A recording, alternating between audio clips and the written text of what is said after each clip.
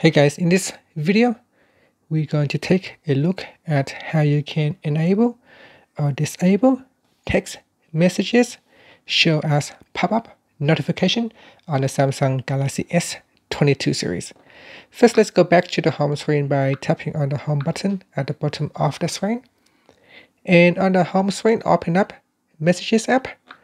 In Messages, tap on the Option key at the top. From the pop-up menu, tap on Settings. In Settings, go down and tap on Notifications. In here, tap on Notification Categories.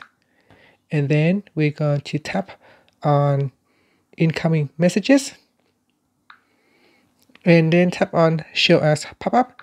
Tap on this toggle button to turn on or turn off text messages notification pop-up.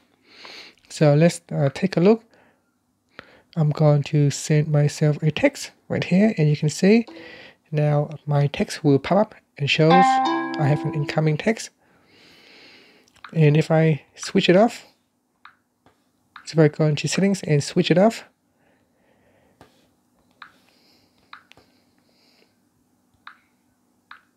Now you can see here